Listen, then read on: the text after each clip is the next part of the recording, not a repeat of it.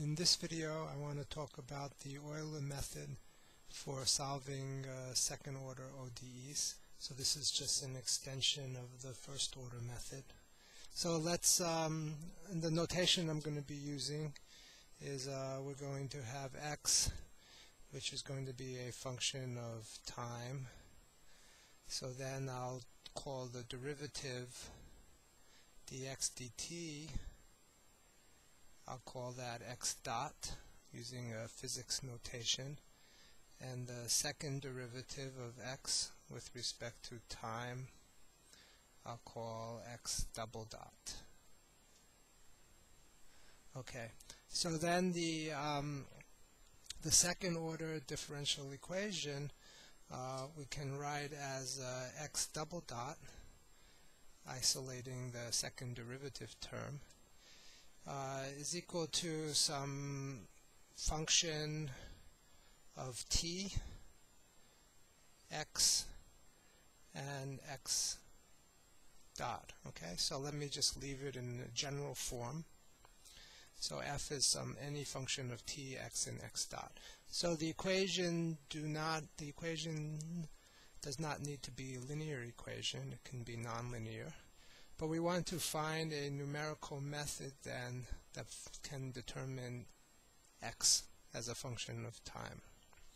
So we'll use the Euler method um, and uh, we've learned the Euler method for the first order equation but we're going to extend it now to a system of first order equations, a coupled system. So we can reduce the second order ODE to two first order, uh, the second order ODE to two first order ODEs by means of a trick.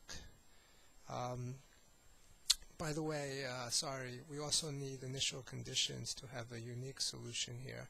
So we have x of t naught equals x naught and uh, x dot of t naught equals u naught. So those uh, are initial conditions. So T naught, X naught, and U naught are supposed to be given. Okay, so uh, to write the second order equation as a system of first order equations, we use a trick. We write the first equation, x dot, as the definition of a new variable, which we call u.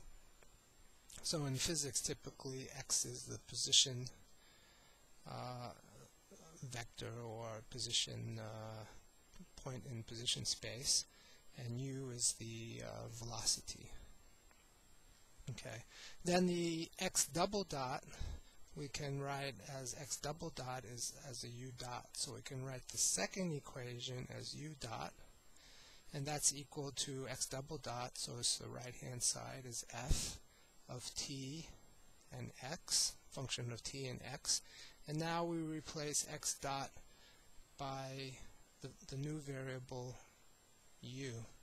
Okay, so we end up with this system of uh, two first order equations which are completely equivalent to the one second order equation and we have the two uh, we have the two initial conditions which are x of 0 equals x naught and the initial condition on x dot then becomes an initial condition on u. So sorry, I we can choose t naught equal to 0, but uh, I kept a general x of t naught.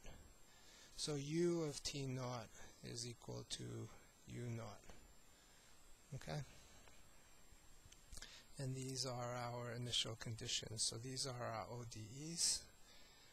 And uh, these are the initial conditions.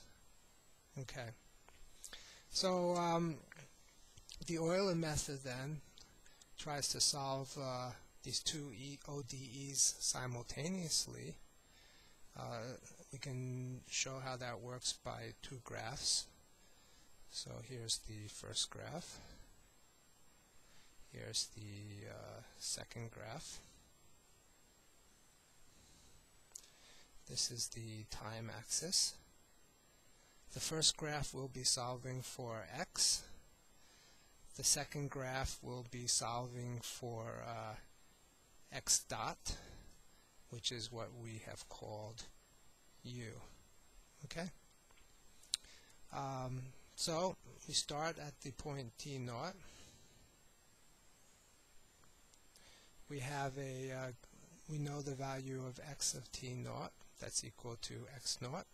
Could be positive or uh, negative. Uh, for argument, we'll take this to be positive. So this is x naught. We know the initial value of u, which is x dot. The initial value of u is u naught, which can also be positive or negative. And for sake of argument, we'll take it uh, somewhere here to be positive. Okay? Those are the initial conditions. And then the differential equation will give us the slope of the tangent line to the solution x of t and u of t at the point t naught, just like in the first order Euler equation.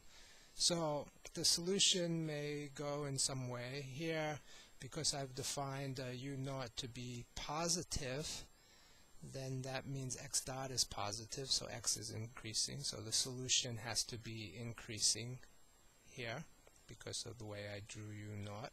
And then it can be increasing and turn over. And then u naught can be anything because we don't know what this f looks like at t equals t naught. So u naught could be increasing, could be decreasing. We don't know. Okay? So we draw the uh, the tangent line. So here it's uh, positive. So here that can be the tangent line, right? And the slope of this line is our u naught, right? And similarly here we can draw a tangent line. Uh, we don't know what f of t naught, x naught, u naught is, but for sake of argument, let's say it's negative. So here could be the tangent line. So the slope here of that line is equal to our right hand side at t naught, x naught, and u naught, right? Okay. Uh, and then we march the solution along the tangent line. So this will be our t naught plus delta t. And the solution then comes to here. And this line segment here then becomes our approximation to the solution. We march forward u graph to t naught plus delta t. And then we get to here and this line segment becomes the approximation to the solution between t naught and t naught plus delta t. And then we continue. So that becomes our new initial condition. Okay? So we get an iteration equation, um, which I can write down, at least to the first time step. So we have t1 is equal to t naught plus delta t, right? x1 is equal to x naught plus delta t times uh, delta x over delta t, so that's the slope, u naught, right? And then uh, u1 is equal to u naught plus delta t times the slope here, which is f of t naught x naught u naught, right? And that's the Euler method, because then we just iterate. So once we find t1, x1, and u1, then we use those on the right-hand side to find t2, x2, and u2.